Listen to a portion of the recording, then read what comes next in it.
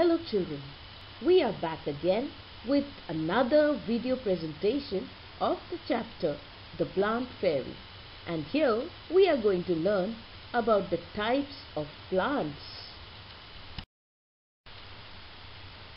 There are different types of plants on our earth. Let's see the different types. Trees.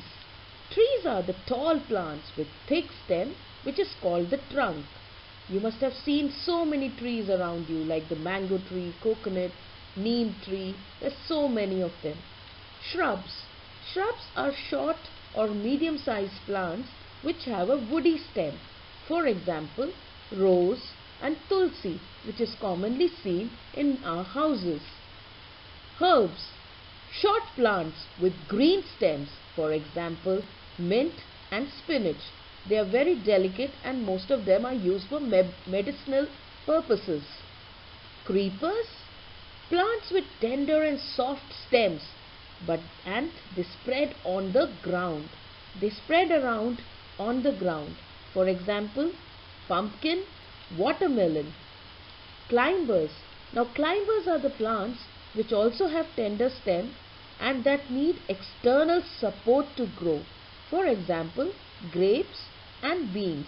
You will generally find them climbing on a wall or another tree or a stick. They will always need support to grow up. You can see in these pictures the different kinds of plants. The first picture shows us a kind of, of tree, big and strong with a, uh, a big trunk.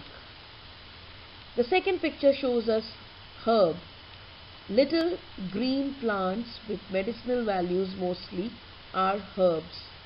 They have delicate and tender and soft stem. The third picture shows us the shrub, which are generally small and short plants and they have woody stem. Climbers, as the picture shows, climbs up with support. Here, this climber is taking the support of a wall. Creepers are generally again with weak stem with a very delicate soft stem and these are generally found spreading on the ground. Let us take up a few differences. Difference between a herb and a shrub. A herb is a small plant with green, tender and soft stem. For example, mint and spinach. A shrub is generally a small plant with woody stem. For example, rose, tulsi.